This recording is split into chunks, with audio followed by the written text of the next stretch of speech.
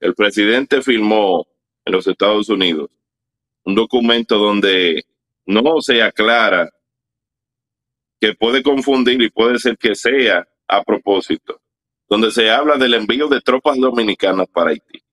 ¿Cómo? Para que sepan, si nosotros, si esos dominicanos guardias cruzan para Haití, ustedes vieron cuando lo del canal que se unieron todos los haitianos, hasta la banda que se estaban matando se unieron. Que habían haitianos hasta con pechera de queche para pelear con nosotros. Sí, señores. Si piso un guardia dominicano de aquel lado e incitó un conflicto para que nosotros seamos los malos de la historia, esos guardias que pisen de aquel lado lo van a linchar. Claro. El país entero, Haití entero lo va a ver como una invasión. Esa gente lo que lo une es el pueblo dominicano y el odio contra nosotros. Y aquí, los políticos de nuestro país, el presidente Luis Abinader, tiene que tener claro que nosotros no tenemos nada que ver con Haití. Y no me encuentro raro que tumbara la transmisión, porque desde que se habla de la marcha al palacio hasta la cuenta la cierran. Hermano, su- su- su- fuimos víctimas de un apagón cibernético que se llevó todo. A nosotros nos tumbaron varias de nuestras redes sociales, incluyendo Instagram, desde que anunciamos la marcha al Palacio Presidencial. Ángelo, nosotros fuimos a través de Bruno Valdeira alertado de que a ti se te había sacado de la marcha que se estaba llevando frente al Palacio Nacional, la marcha haitiana por el movimiento reconocido. Nosotros queremos saber desde el principio hasta el final, desde cómo tú te enteras de lo que está sucediendo, en el momento que decides ir para allá, en el momento que te sacan, cuáles estaban, quién patrocinó esto, cuántos policías estaban, cómo eso cómo te sacaron. Nosotros queremos todos los detalles porque estábamos alarmantemente preocupados. Bueno, miren, señores, no hay algo más grande que la desgracia que nosotros los dominicanos estamos viviendo. Nosotros hemos convocado para este viernes 27 una marcha al Palacio Nacional y los haitianos convocaron el 23, varios días antes, una protesta frente al Palacio Nacional para exigir que el gobierno le entregue documentos dominicanos. Significa que todos e- esos haitianos que se encontraban ahí estaban totalmente ilegal. Por consiguiente, el que esté ilegal no puede protestar en este país, menos un extranjero. bajo la ley de 85, el guion 04, en su artículo 122, inciso 1. La ley general de migración Exacto. lo estipula. Exactamente. Entonces, ¿qué pasa?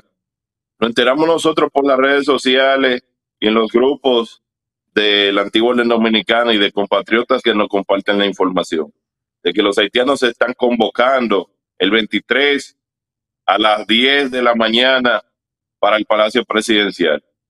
Nosotros nos reunimos, hablamos de eso varias veces antes de, del domingo, antes del 23, el 22 nos reunimos planificamos movilizarnos para allá entre 50 personas y quizá un poco más. Llegamos casi 50.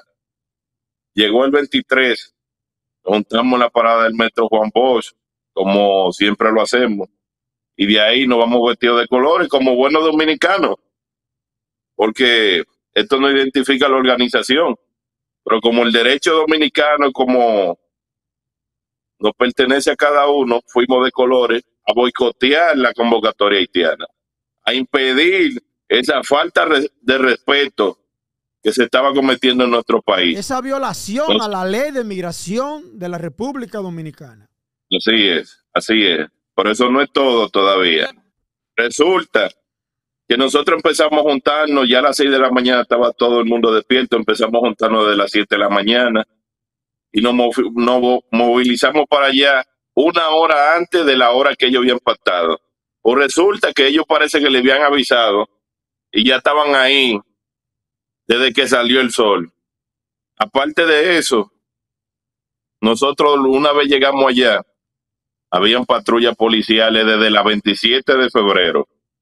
Cuando nosotros vamos bajando, que vamos dispersos, para que nadie sepa que somos nosotros, eh, parece que no estaban dando seguimiento fuertemente. Antes de nosotros ya llegar a la jaula donde estaban los haitianos, que habían tres policías por cada paso rodeando la convocatoria de los haitianos. Ahí había mínimo 300 policías más. Y estaban llegando guardias del ejército incluso. Y ustedes pueden creer, señores, que nosotros fuimos a defender la dominicanidad, a proteger ese lugar sagrado de los dominicanos. Y a nosotros se nos impidió y se nos retuvo ir a, a boicotear esa convocatoria haitiana porque se le ordenó a los policías proteger esa convocatoria haitiana, quien le dio el permiso, que aquí todo el mundo sabe quién fue. ¿Quién el le presidente. dio el permiso a esos haitianos para que fueran a protestar frente al Palacio Nacional? El presidente, la vicepresidente y la ministra de Interior y Policía. Estamos hablando de Luis Rodolfo Abinader Corona, Raquel Peña y Farideh Raful, la prohaitiana. Oh, pero a, a, quién el presidente incondicional? Él lo dijo claro, a la ONU. El títere de la ONU. Porque que, señores, nosotros tenemos que ser claros con lo que está pasando en nuestro país. Aquí escuchamos muchas palabras del presidente por ocasión. Y vemos que la vicepresidenta dice que esos dominicanos había que permitírsele el derecho a protestar. Es más que claro que la orden vino desde la presidencia para que esa gente protestaran ahí por la modificación de la constitución que viene, porque a ellos hay que modificar para que ellos puedan ser dominicanos. Totalmente de acuerdo, esa es la trama que hay, que fue orquestada desde el Palacio Nacional. Eso fue a propósito. ¿Qué pasa, señores? Que incluso hubo un compatriota que entró a la jaula y es tanto así que los canadienses que habían, canadienses, los cacorrubios que estaban ahí adentro dirigiendo esa convocatoria haitiana, que pagaron todos esos autobuses de esos haitianos. Esa ONG registrada en el Ministerio Público, en la Procuraduría de la República, que ellos son los que permiten el registro de la ONG. Esa gente que pagan esos autobuses estaban dirigiendo la marcha haitiana y la convocatoria haitiana.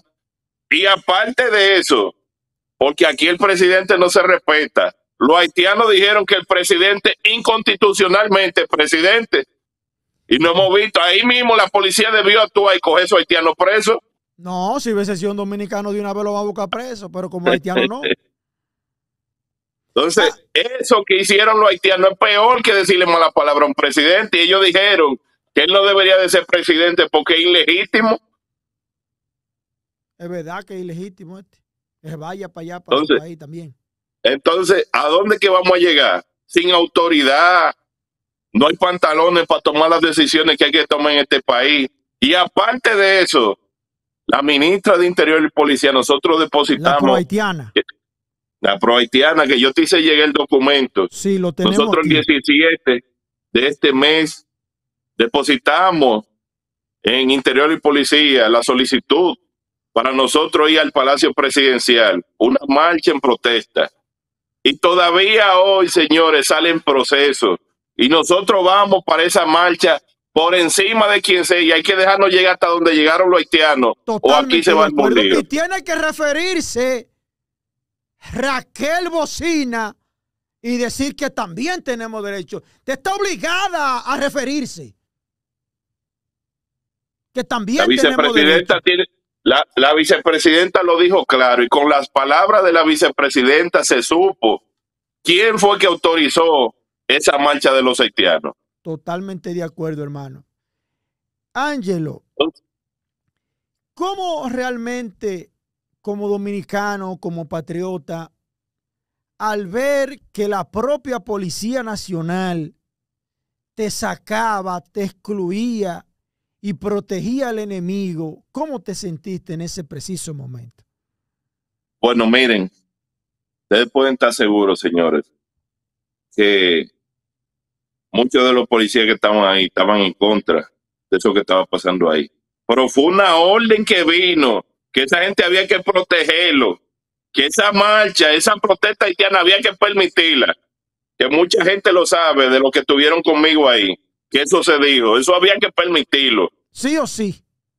Había que permitirlo. Los policías se dijo claro. Cuando usted Porque el dominicano está en contra de esa vagamundería que está pasando aquí. Pero el gobierno es que está presionando para que se dé. A nosotros no estaban esperando ahí antes de nosotros llegar. Era toda esa policía eran esperándonos nosotros que estaban. Tenían una inteligencia física y tecnológica montada en contra de Ángel ¿Tú sabes, cómo, tú sabes cómo nos sentimos nosotros, porque yo hablo en nombre de muchos patriotas. ¿Tú sabes cómo nos sentimos nosotros? Traicionados, entregados al enemigo histórico de nuestro país, que quieren demostrar que por encima de quien sea van a imponer los haitianos. Y si Abinadel, como dijeron los haitianos, si Abinadel, no, eh, eh, si ellos no son dominicanos, Abinadel tampoco, nosotros vamos ahí con el lema si Abinader no lo saca a ellos, lo vamos a sacar nosotros. Ángelo, cuando usted habla de los cacos rubios, se refería a los canadienses. ¿Cuántos canadienses usted pudo observar que estaban coordinando y controlando la marcha haitiana y específicamente en dónde estaba ubicada la denominada jaula en el área perimetral del palacio. Específicamente, identifiquen dónde estaba ubicada. Bueno, la jaula estaba ubicada, señores, en, en una esquina del Palacio Presidencial que se baja por la Doctor Delgado, 27 con Doctor Delgado. Esa jaula, que increíble, señores, tanto que se hablaba de todos los gobiernos, que le hemos protestado a todos. Pero este gobierno tiene esa jaula permanente ahí. Que democracia es. Eh, hay protestas permanentes en este país, en el palacio. Entonces, ¿cómo que la jaula está permanente ahí? Esa jaula está permanente ahí. Tú pasas cualquier día de estos cuatro años, esa jaula estuvo ahí. Todos los días la jaula está ahí. ¿Cómo? Para que lo sepa, pregúntale a la gente que pasa por ahí para que tú veas por la doctor Delgado, bajando la 27. Ahí está la jaula eh, metiendo presión de los haitianos. Permanente, como si hubiera sido un, un peatonal. Eso está permanente en la calle cerrada ahí, esa acera, para que la gente vaya a protestar ahí. Para que lo sepa. Pues vamos para allá nosotros también. Para allá vamos nosotros, sin, a nosotros nadie como dominicanos puede impedirnos eso. Claro que no. Claro que no. Ángelo, háblame de los denominados cacos rubios. ¿Cuánto usted pudo ubicar? Bueno. ¿Y, por dónde estaban situados? Porque nada más no era ahí que estaban los canadienses. Bueno, bueno, esos cacos rubios, habían cinco de ellos, lo que yo pude observar hasta donde me dejaron llegar. ¿Qué decían Nosotros estábamos los movimientos a unos pasos de, estábamos a unos pasos del Palacio Presidencial y vimos cinco. Uno de ellos era un camarógrafo, eh, una señora rubia que era que dirigía y los otros que también estaban tomando fotos a la, a la protesta de los haitianos. Se veía claro que ellos eran lo que le decían, lo que tenían que decir, los lemas los haitianos. Y no solo eso, que hay un video que te lo voy a hacer llegar para la próxima transmisión que tú hagas, donde se le ve el haitiano que está coordinando esa convocatoria, que tienen vivo en TikTok con barbecue. Y aparte de eso, de que él tiene conexiones con barbecue, señores, mandó a sacar un dominicano que logró entrar y dice, no quiero ser dominicano aquí, sácamelo, sácamelo para afuera, la policía de nuestro país mandando a sacar a la gente. Pero eso no dice unas cuantas cosas.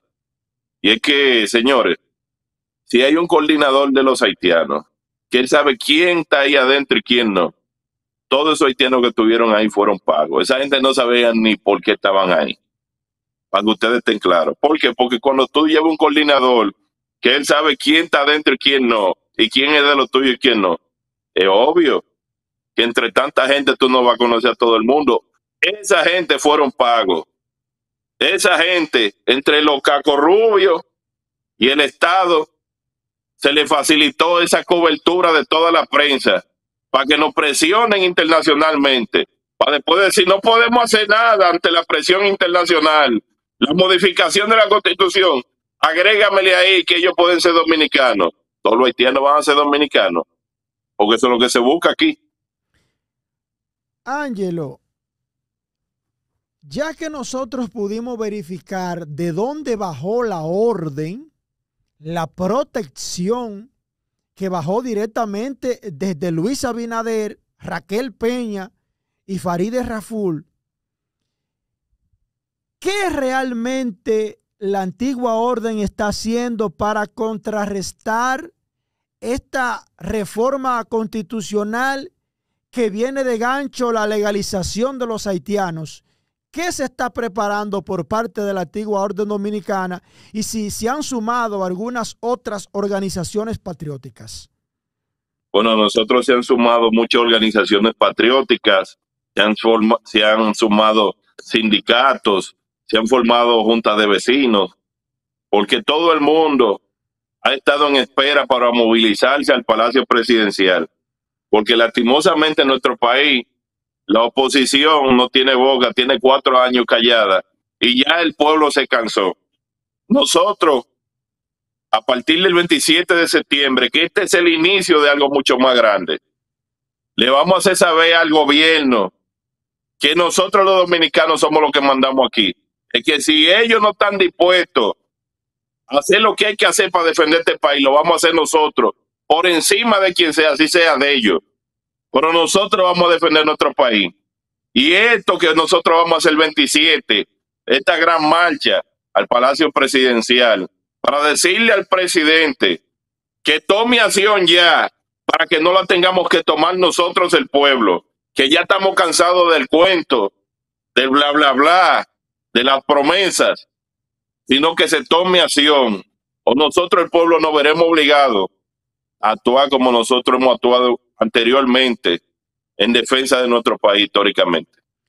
Ángelo, bajo esta situación de que todavía el permiso suyo para la eh, marcha del 27 de este mes, del viernes, Farideh Rafula tiene frenada en vista de que está en proceso, eh, ¿cuál es la línea directa por parte de la antigua orden dominicana para ese pueblo que está esperando que usted le informe con relación a la marcha del viernes 27.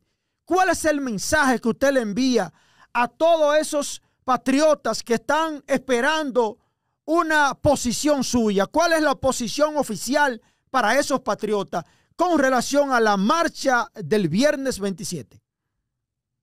A todos los dominicanos nosotros tenemos una gran oportunidad. La historia nos ha dado la oportunidad de que nosotros cambiemos el rumbo de nuestro país. Este es el momento que nosotros podemos decir, ahora o nunca. Y yo le informo a todos y le hago el llamado a todos de que no nos dejen solos, que este 27 nos juntemos en la 27 de febrero con Máximo Gómez, este 27 de septiembre a la una de la tarde, para que marchemos juntos al Palacio Presidencial, con o sin permiso, traigan su familia, porque este país es de nosotros y no lo vamos a dejar quitar de ningún político. Por encima de quien sea esa marcha va, con o sin permiso. Si a los haitianos se les permitió hacer una protesta, nosotros los dominicanos tienen que permitírnoslo, hasta sin permiso, porque este país de nosotros lo construimos nosotros es que el permiso lo tienen parado como parte de la trama. El permiso lo tienen parado directamente del Ministerio de Interior y Policía porque a Faride la pusieron ahí para eso. Para que, para que velara por los intereses de los haitianos. Fue una, una posición estratégica a la que Abinader le cedió a los organismos internacionales. Eso es 100% real. Farid es una pro haitiana que debe, que debemos nosotros levantarnos y decirle todos en un mismo sonido pro haitiana. renuncia de ese cargo. Así es. Fíjate en algo que el anterior, el anterior ministro de Interior y Policía y los anteriores nunca permitieron una convocatoria haitiana. Para que sepa. Fueron muchas convocatorias que nosotros impedimos, fueron muchas convocatorias que Interior y Policía. Bueno, la, ma- la última fue la convocatoria que hicieron los, estos mismos haitianos, que hicieron en la Romana. Y allá se impidió, primero, desde que nosotros anunciamos Interior y Policía, dijo, los ilegales y los extranjeros no tienen derecho a protestar en nuestro país. Nosotros no hemos dado permiso. ¿Ha dicho algo Interior y Policía esta vez? No. Le mandó a proteger y obligó a los policías a que habían que proteger a esos haitianos porque esa marcha tenía que darse, esa protesta de los haitianos.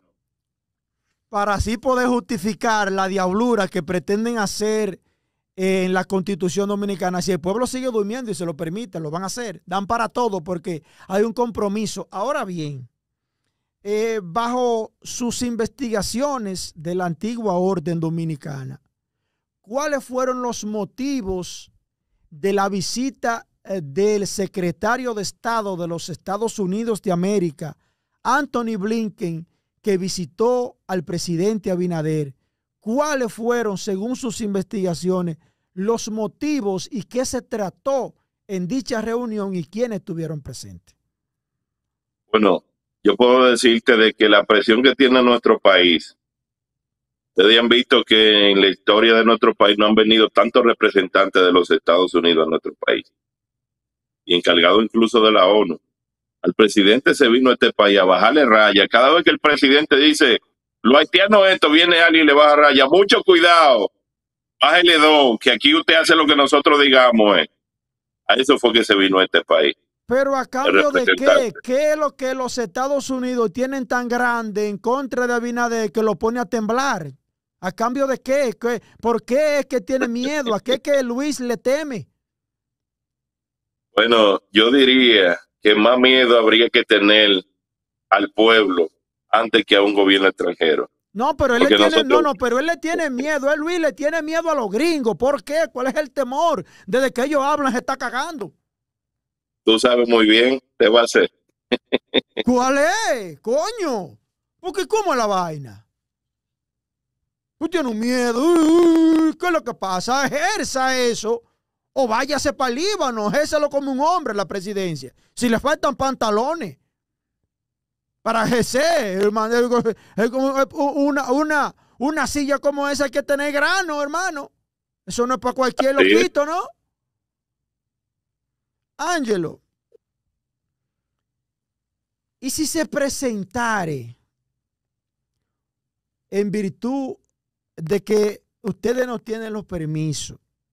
Si se presentare cualquier situación de oposición por parte de la policía, ¿qué ustedes harían? Nosotros vamos por encima de quien sea para el Palacio Presidencial. Ahora bien, si aquí se nos impide a nosotros ir al Palacio Presidencial, que vamos a ir como sea, yo se lo aseguro. Ténganlo por seguro, que ese va a ser el estallido. El mayor problema que se va a buscar un gobierno de este país en más de 200 años de existencia de este país. Que nos impidan a nosotros ir al Palacio Presidencial para que ellos vean. Ángelo, ¿se le han acercado algunos líderes políticos para irlo a acompañar a ustedes a esa marcha? muchísimos líderes políticos de diferentes partidos, mucha, mucho, como le dicen, de- del comité de central de diferentes partidos, pero no lo hemos permitido. ¿Por qué? Porque esta, esta lucha no podemos politizarla. No podemos dejar que los colores partidarios nos sigan dividiendo, porque por eso que nos encontramos como estamos. Y se Todavía hace- faltan cuatro años para la elección, entonces nosotros tenemos que presionar para que no tengamos que esperar cada cuatro años para arreglar esto. Es ahora. Ángelo, ¿y se le ha acercado Roque Espaillat, el cobrador? No, No. Ok, muy bien. Ángelo, nosotros estamos unidos ante esta inminente agresión ante esta inminente suplantación con el objetivo no de fusionar a la República, a República Dominicana con Haití, sino que el objetivo del presidente es desaparecer la identidad dominicana, desaparecer la República Dominicana. Ese es el interés a cambio de impunidad, de no ser extraditado a los Estados Unidos, a él y su mm. narcopartido llamado el PRM. Yo no ando con pañito tibio, yo tengo ese maldito problema, me van a matar, pero me van a matar eh, eh, eh, defendiendo a mi, a, mi, a mi país. A donde yo nací, yo no he ido a... Hermano, yo soy una gente tan encerrada que yo no he visitado otro país. Ni he salido. Yo salgo, mira, yo soy un campesino desgraciado. Yo salgo a Santo Domingo y es con los tiempos contados para arrancar para Santiago de nuevo. Yo nunca he salido de aquí, hermano. A mí hay que matarme aquí en mi cueva. Yo nunca he salido. Dije que le envío la naga a los Estados Unidos para que me den una visa, me su visa y métasela por el culo, hermano. Yo nunca he salido para ningún país, ni que para Canadá, ni que para el diablo. Yo soy aquí, aquí hay que matarme por este país que yo peleo por Santiago y por mi país, República Dominicana. Ángelo, ¿hay alguna información que usted tenga con relación a la reforma fiscal y a la reforma constitucional?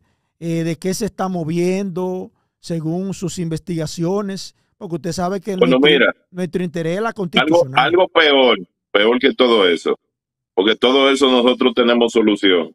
Si lo del 27 nosotros lo hacemos bien, aquí nosotros vamos para todo lo que propongan, si no lo disponemos. Pero miren esto, el presidente firmó en los Estados Unidos un documento donde no se aclara que puede confundir y puede ser que sea a propósito, donde se habla del envío de tropas dominicanas para Haití.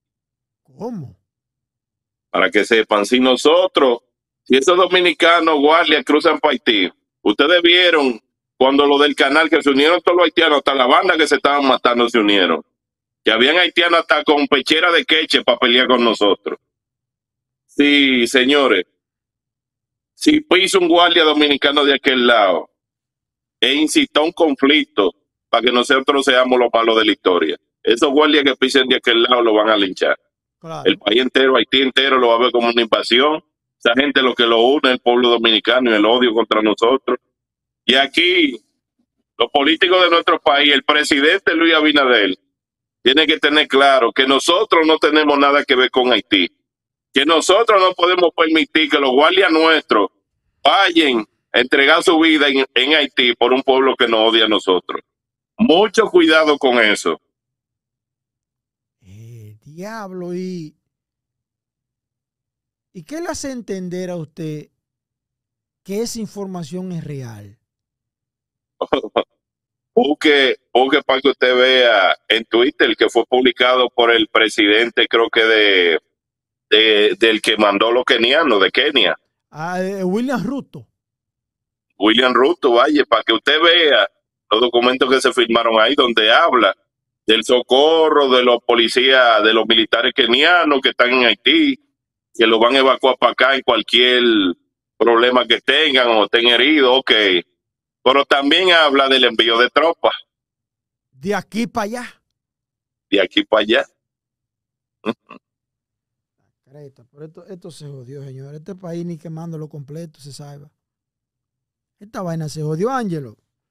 Ya al final de la entrevista, envíele un mensaje contundente a este pueblo patriótico, a la República Dominicana, para la marcha del viernes 27.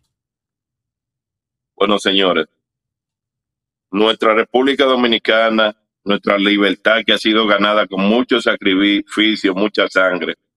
Nosotros no podemos dejar que nadie, ni ningún político, ni el presidente, ni nadie venga a negociar nuestra soberanía nacional. Nosotros tenemos la oportunidad de ser parte de la historia hoy. Y este 27 de septiembre tenemos que darnos cita y estar presente, que han venido cientos de personas de fuera del país. Tenemos autobuses en varios puntos del país. Ya tenemos confirmado miles de personas que van a asistir. Este 27 de septiembre tenemos que dejarle claro al presidente, al gobierno, y a todo el que se atreva que nosotros vamos a defender nuestro país por encima de quien sea y que vamos a defender nuestro país con lo que nosotros comenzamos a ser libres, porque no es verdad que nosotros vamos a permitir que nos quiten nuestro país, por la buena nunca. Nos vemos el 27 de septiembre, este viernes 27 de septiembre a la una de la tarde, en la parada del metro Juan Bosch. Vamos para el Palacio Nacional y vamos a recuperar lo que no ha sido entregado a los haitianos. Ángelo, ¿en dónde estarán ubicadas, en cuáles puntos estratégicos del país estarían ubicadas las guaguas de la antigua orden dominicana que la llevarán hacia la marcha del viernes 27? Bueno, nosotros tendremos autobuses totalmente gratis en Verón, en la Tesaco de Verón. Luego también tendremos autobús en el parqueo de de la Basílica de Higüey, en el Parque Central de la Romana, en, en el Monumento de Santiago a las 7 de la mañana, eh, en el parqueo del Monumento de Santiago, en el Jumbo de La Vega, de la entrada de La Vega, a las 8 de la mañana, a las ocho y media de la mañana, en la bomba Zunis de Bonao. Y aquí nos veremos todos, señores, nos veremos todos para ir a decirle al presidente, que ya el tiempo de las mentiras y del cuento se acabó. O toma acción o la vamos a tomar nosotros, el pueblo.